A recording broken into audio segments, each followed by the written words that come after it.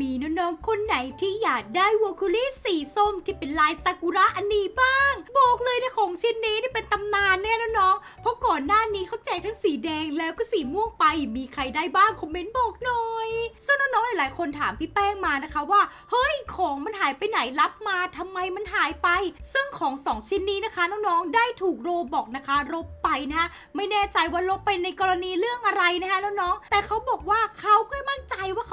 อันใหม่นี่แหละมาแจก อีก แต่เขาบอกว่าถ้าโดนลบเขาก็จะไม่ประกาศบอกเช่นกันนะคะไปลุ้นกันเอาเองว่างั้น ซึ่งตอนนี้นะคะผู้สร้างเนี่ยยังไม่บอกนะคะน้องๆว่าเขาจะมาแจกในรูปแบบไหนหรือเว็บอะไรหรือ map อะไรนะคะน้องๆแต่เขาบอกว่าหากมีคนนะคะมาเล่น map แบบนี้ของเขาเกิน 1,000 ไปเนี่ยเขาจะมาแจก Valkyrie อันนี้นะคะน้องๆก็ต้องรออัปเดตและรอติดตามจากพี่แป้งชมนะคะว่าเขาจะมาแจกสต็อกเท่าไหร่ต้องทำยังไงบ้างถึงจะได้ของชิ้นนี้ ใครอยากได้คอมเมนต์ใต้คลิปนี้หน่อย